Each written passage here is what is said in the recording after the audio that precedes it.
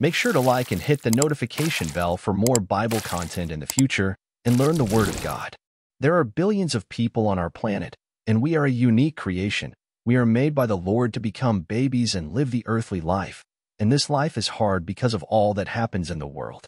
But the Bible says in Matthew chapter 19 verse 26, with God, all things are possible. It might seem hopeless, but God also said in the Bible, be anxious for nothing. You see, God doesn't want you to be afraid, because Jesus said, I will never abandon you, nor forsake you. Meaning that God said, I will always be with you, and I will never leave you. So remember, you're not alone. You might be thinking, how did this all happen? What caused the fall of existence?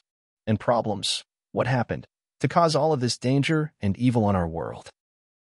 Well, a long time ago, God created the first humans, Adam and Eve, to live in paradise forever, but Satan, the enemy of God, tricked them to eat the forbidden fruit that God told them not to eat. And when this happened, that's when all the wrong things entered the world. Not only did evil enter God's perfect creation, but it also tore us away from God, but God had a rescue plan. John 3.16 says, For God so loved the world that he sent his only begotten Son. So whoever believes in him shall not perish, but have everlasting life. This verse is talking about God the Father sending Jesus Christ. Jesus had to die a brutal death to save us wicked creatures from hell, meaning that now we have the freedom to go to heaven and be with God forever.